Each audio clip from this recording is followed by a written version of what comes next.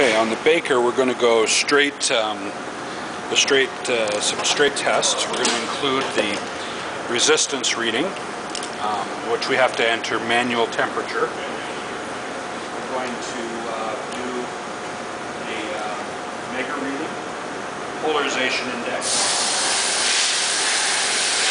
Um, I'm skipping the uh, ramp because that takes a little bit and we'll go straight to the surge. The high pot and the surge test will both be at 2000 volts.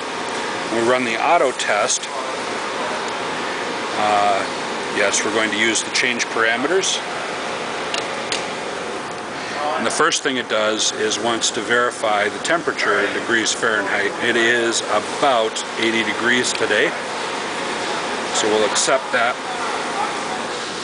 The nice thing is these tests are now going to happen uh, automatically. It's now running uh, my straight uh, four-wire Kelvin resistance test.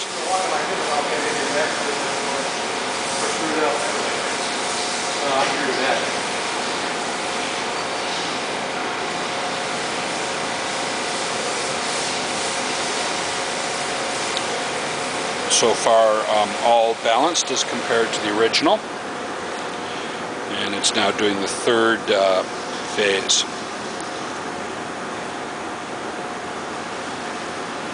Okay, with that test complete,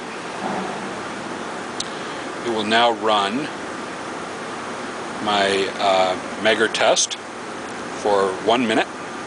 As soon as it brings the voltage up to the required temperature of, uh, uh, sorry, value of 500 volts, Uh, we're already in the uh, 18 gig ohm range, or sorry, 10, 11 gig ohm range.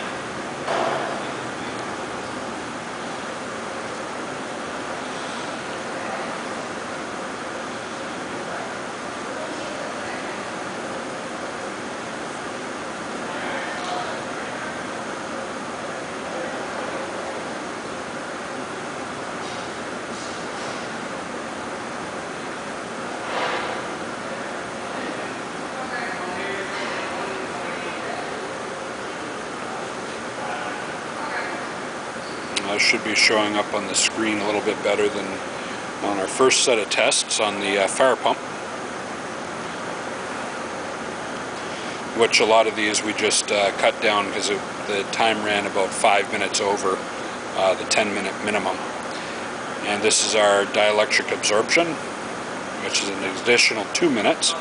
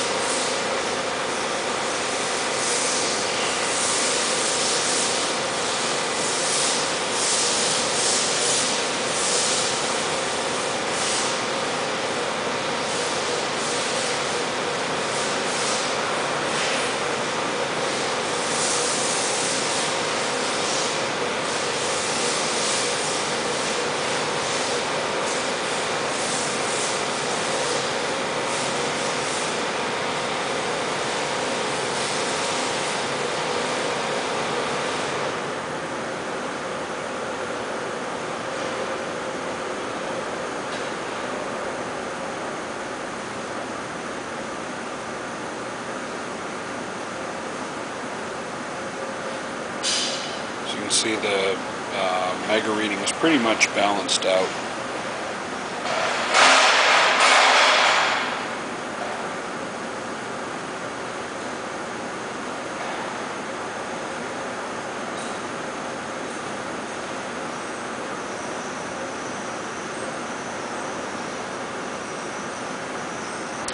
Okay, the next test is going to be um, the uh, high potential test. Once it gets up to a value of 2000 volts, Uh, it will then run it for roughly 30 seconds, and it'll tell us what our leakage looks like.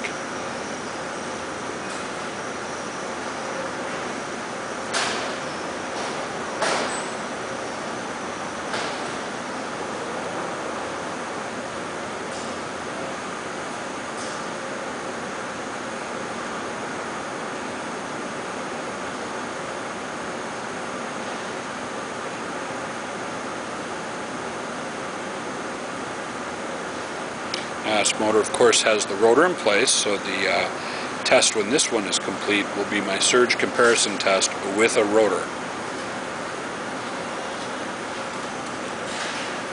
Discharge the winding, and now comes our surge test at uh, 2000 volts. Uh, it's set to auto range.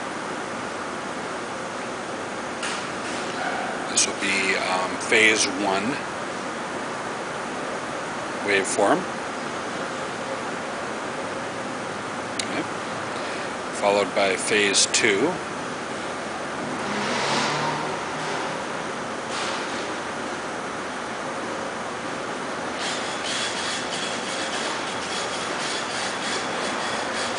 Uh, this again is happening automatically.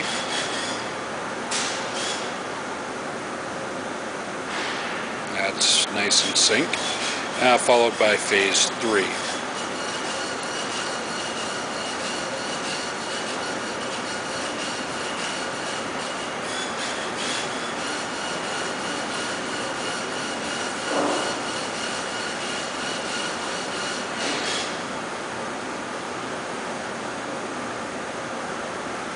Okay, that thereby completes the tests.